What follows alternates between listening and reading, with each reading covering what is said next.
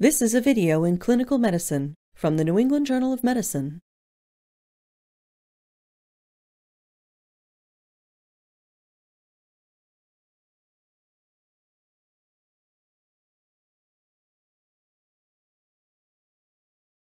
Point of care lung ultrasonography performed at the bedside can be used to rapidly evaluate patients with dyspnea and respiratory failure.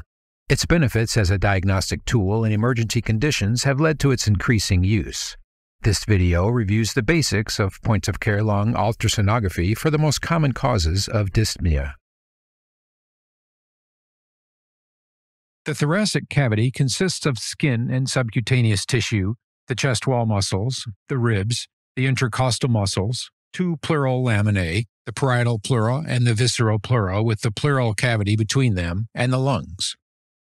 During respiration, the two pleural laminae slide against each other, allowing the lungs to expand freely. Interlobular connective tissue septa extend from the visceral pleura deep into the lung to form a delicate support for the alveoli.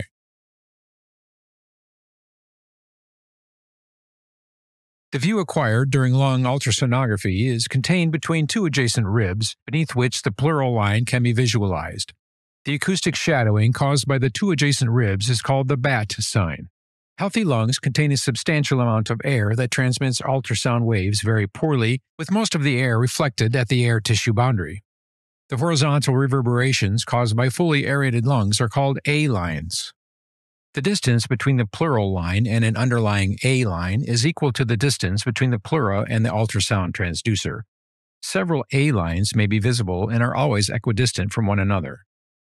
Fully aerated lungs have the following features visible lung sliding in which the pleural line moves with respiration, a visible smooth and echoic pleural line, and visible A lines. Point of care ultrasonography of the lung is helpful in assessing patients who have dyspnea associated with pneumonia, pulmonary edema, pleural effusion, pneumothorax, chronic obstructive pulmonary disease or COPD and asthma, and pulmonary embolism.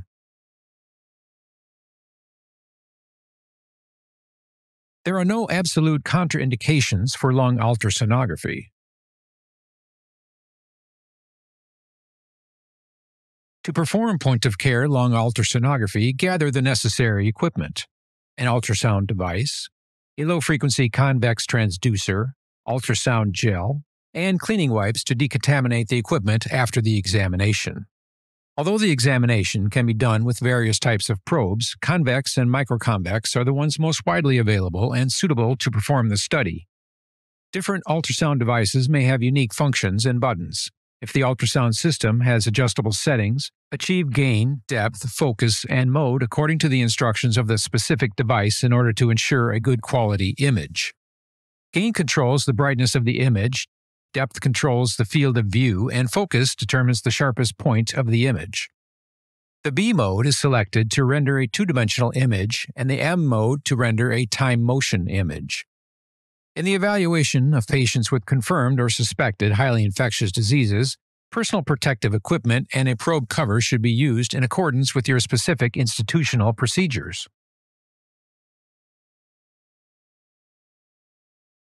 Before you perform the examination, introduce yourself to the patient and verify the patient's identity. Maintain comfortable thermal conditions during the examination by covering the patient or providing a comfortable room temperature. Place the patient in a semi recumbent, supine, or prone position. If the patient is able to follow instructions, the examination may be performed with the patient seated upright.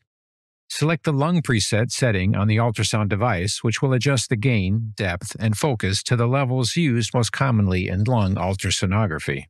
If this setting is not available, disable the image enhancement filters such as cross-field imaging, noise reduction, and harmonic imaging. These filters can reduce or modify artifacts and thus make image interpretation more difficult.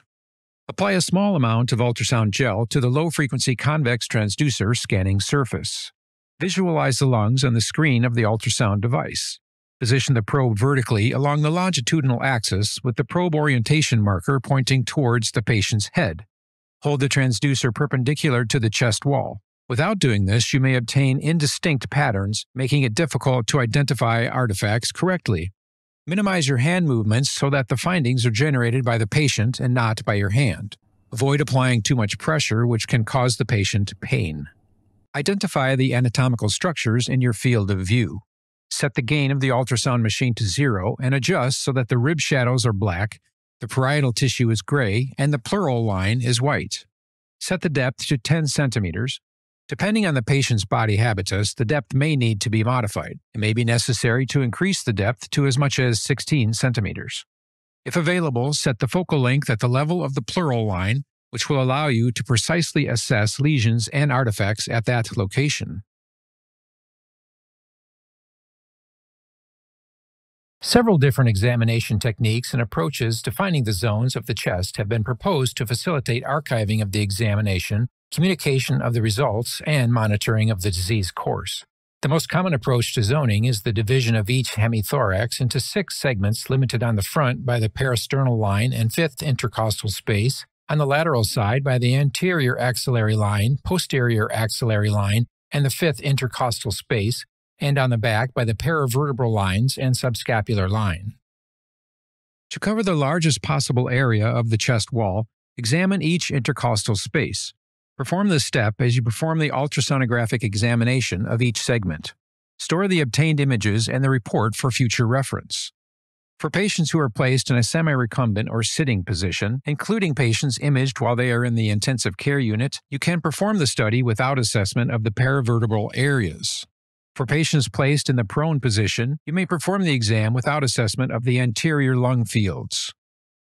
At the initial stages of many lung diseases, an ultrasound image may be normal, similar to lung ultrasound seen in fully aerated lungs, including visible lung sliding, a smooth and echoic pleural line, and visible A lines. When lung aeration is reduced, the subpleural structures along the course of the ultrasound wave become more accessible and produce a variety of abnormal findings. Various pathologic conditions can cause thickening of the interlobular septa, which are surrounded by alveolar gas. The vertical artifacts that result from the entrance of the ultrasound beam into these structures are called B lines. A B line is a hyperechoic artifact resembling a laser beam that arises from the pleural line. It moves in unison with lung sliding, reaches the bottom of the screen, and erases the A lines.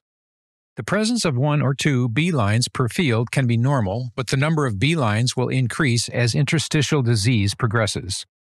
Short, ill defined artifacts that fade rapidly and do not move with respiration may not be of clinical relevance, and artifacts that do not extend from the pleural line may indicate the presence of subpleural consolidations rather than interlobular septal thickening. The complete loss of alveolar aeration leads to the formation of tissue like patterns called consolidations. Subpleural consolidations are hypoechoic structures that move together with the lung sliding. We will now discuss lung ultrasound in several abnormal conditions. Community acquired pneumonia is an inflammatory process that initially involves only certain areas of the lung and occurs asymmetrically. As the inflammation advances, the following features may be observed at varying degrees of intensity. Focal pleural line abnormalities, which make the line irregular and hypoechoic, multiple B lines, multifocal confluent B lines, known as white lung, subpleural consolidations, lobular or segmental consolidations, and an air or fluid bronchogram. Air bronchograms are air filled hyperechoic bronchi surrounded by consolidations. Fluid bronchograms are images of fluid filled bronchi visible as hypoechoic bronchial lumens surrounded by consolidations. Various factors lead to interstitial pneumonia, including viruses, toxic exposures, and autoimmune conditions. The most typical presentation involves multifocal lesions. Even in an advanced inflammatory process, the involved lung regions may be separated by fully aerated areas known as spared areas. In patients with viral interstitial pneumonia, the following features can be observed focal pleural line abnormalities, multifocal B lines, white lung, which connotes severely injured lungs with poor aeration, and multifocal subpleural consolidations.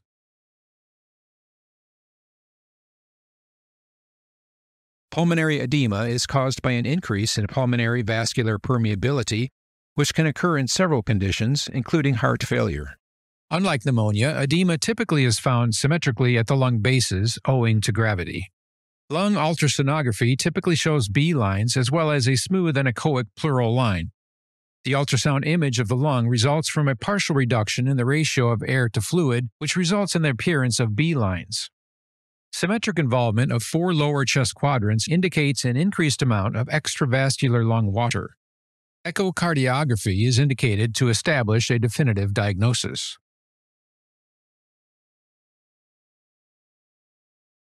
Pleural effusion describes the presence of fluid in the pleural cavity. On ultrasonography, pleural fluid usually appears as an anechoic area, that is, dark space around the lung. In the thoracic cavity, fluid is typically found at the lowest point owing to gravity. Thus, place the patient in a semi recumbent position and apply the probe at the base of the chest. You should visualize three elements the pleural cavity, the diaphragm, and an abdominal organ, either the liver or the spleen. Together, looking at these regions will make it possible to pinpoint the exact location of the fluid. In some cases, you may see the thoracic spine during ultrasound examination. This constitutes a nonspecific finding known as the spine sign, which indirectly indicates the presence of fluid in the pleural cavity. Various techniques can be used to estimate the volume of a pleural effusion. The most common technique is to measure the distance from the diaphragm to the base of the lung and the lateral surface of the chest wall to the lung.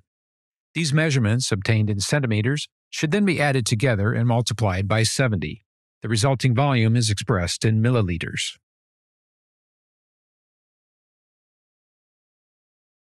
Pneumothorax can be life threatening.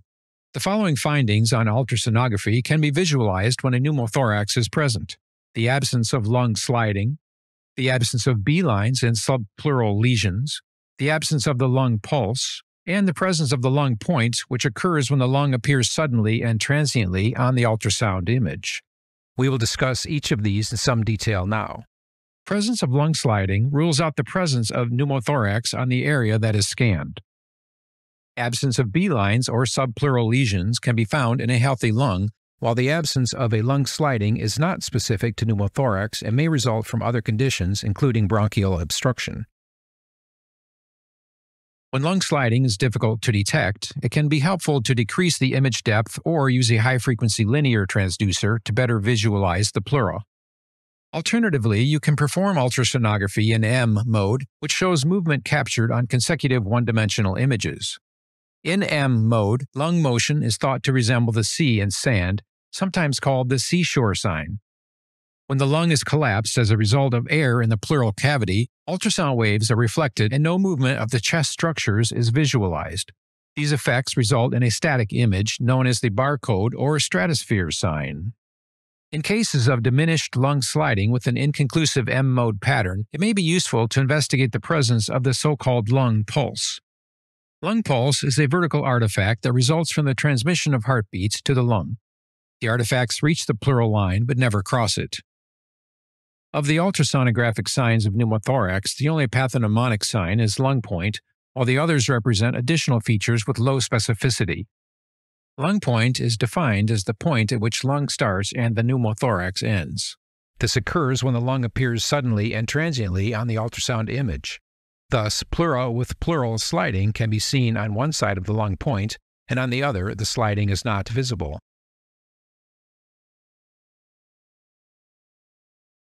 An exacerbation of COPD or asthma can be triggered by a number of factors. In a patient with dyspnea who has a normal lung image, the exclusion of other pathologic conditions may point the final diagnosis toward exacerbation of COPD or asthma. Obstruction can be diagnosed on ultrasonography by assessing the respiratory movements of the diaphragm. Place the patient in a semi recumbent position, Place the probe in the right mid-clavicular line and project the beam cephalad so that you can visualize the liver and the diaphragm behind it. During inspiration, the diaphragm approaches the probe, and during expiration, it moves away. Turn on the M mode on the ultrasound machine. The diaphragm is now shown as a hyperechoic line rising during inspiration and falling during expiration. The patient should be asked to take a deep breath and then to force expiration through an open mouth. Measure the distance of diaphragm excursion during the first second of expiration. The dimension has been marked with the letter A. Next, measure the diaphragm excursion during the entire expiration. This dimension is marked with a letter B. The ratio of A to B, known as the M mode index of obstruction, can serve as a good indicator of obstruction with a cutoff value below 0.77. Pulmonary embolism, or PE, is a life threatening condition that can be difficult to diagnose at the bedside. Ultrasound of the lung is of limited diagnostic value in patients with PE. As is the case for COPD and asthma, pulmonary embolism is most often a diagnosis of exclusion. If the result of the ultrasound is normal and the patient has dyspnea, assessment for a deep vein thrombosis is indicated. Diagnosis of deep vein thrombosis in a patient with dyspnea and normal results on lung ultrasonography is strongly suggestive of PE. In such cases, computed tomographic pulmonary angiography, echocardiography, or scintigraphy of the lung is indicated.